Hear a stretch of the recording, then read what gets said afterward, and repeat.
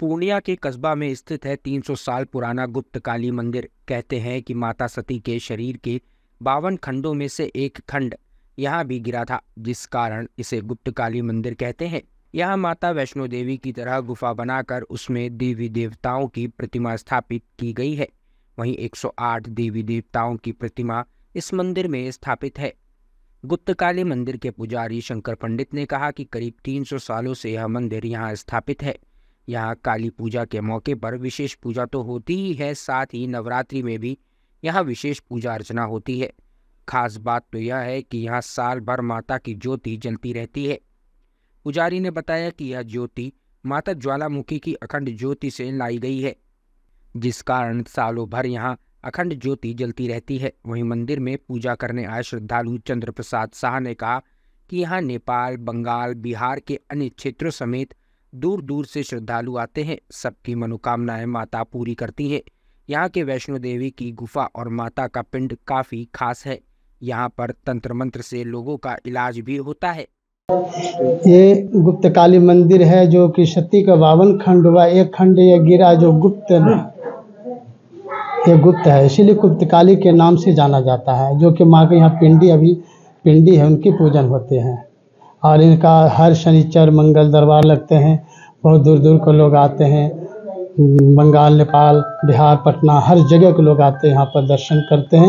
उनको मनोकामना पूर्ण होती है। अच्छा दीपावली के मौके काली पूजा के हाँ। मौके पर और नवरात्र के मौके पर क्या खास होता है? दीपावली का इसका मतलब महत्व है कि इसका रात में जो चौका पूजा होते हैं गुप्त माँ का पिंडी का पूजा ये गुप्त पूजा होते हैं काली का जो कि इनका हर विशेष पूजा होते हैं। अच्छा कितनी देवी देवते हैं? यहाँ तो देवी देवता एक सौ आठ अखंड ज्योति भी है। अखंड ज्योति भी है अच्छा जलते रहते ऊपर में देख रहे हैं कि हाँ वैष्णो हाँ देवी का- वैष्णो देवी का है वहाँ पर भी।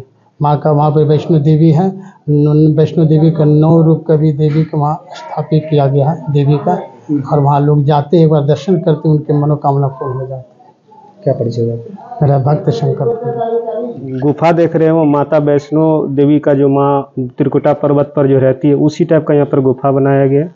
वहाँ सारे माता मतलब वहाँ पर विराजमान है। और इधर जो देख रही है दस महाविद्या का मंदिर है।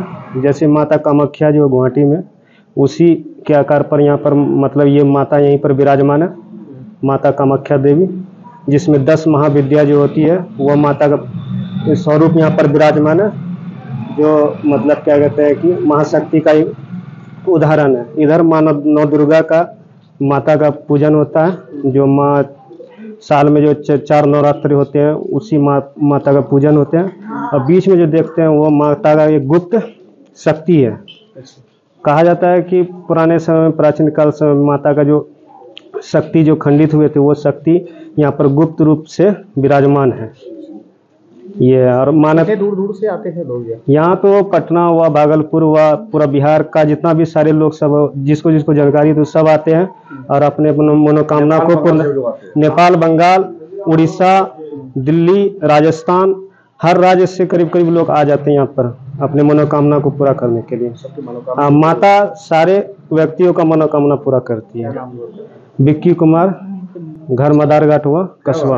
यहाँ हम लोग का जो है कि जन्म स्थल है और ये माता का दरबार जो है कि बहुत पुराना है और यहाँ यहाँ जो भी मतलब मनोकामना लेके आते हैं यहाँ हर मनोकामना जो है कि माता का शक्ति से प्राप्त करके जाते हैं। कोई भी भक्त यहाँ से निराश होके नहीं जाते। ये वो देवी स्थल है जो कस्बा का एक शान है एक सम्मान है और यहाँ जो भी दर्शन करने के लिए आते हैं वो खुशी खुशी यहाँ से जो है कि हँसते हुए जाते हैं। और क्या ये है? ये माता रानी का दरबार ये ये ऐसा अद्भुत शक्ति है इसमें क्योंकि वो दिखाई तो नहीं देता है लेकिन जो भी यहाँ आते हैं और ये मन से जो भी यहाँ मन्नत मांगते हैं वो माता शक्ति जो है कि उन्हें प्रदान करती है और वो खुश होके जाते हैं। सुख से जाते हैं अच्छे से रहते हैं हर चीज़ से वो स्वस्थ रहते हैं। ये कहा जाता है गुप्त काली मंदिर। ये महाशक्ति गुप्त काली मंदिर के नाम से प्रख्यात है और कस्बा वासी क्या बहुत दूर दूर के भी लोग यहाँ आते हैं जिनके की जिनकी मनोकामना पूर्ण होते हैं और यहाँ इस बार भी भव्य जो है कि मतलब पूजा अर्चना मतलब माँ गुप्त काली मंदिर में किया जाता है दीपावली के अवसर में किया जाता है नवरात्रि के समय किया जाता है। ये एक नाम आपका? मेरा नाम चंद्र प्रसाद शाह कस्बा के निवासी है। अगर आपको हमारा वीडियो पसंद आया हो तो इसे लाइक करें सब्सक्राइब करें और साथ ही बेल आइकन दबाना ना भूलें।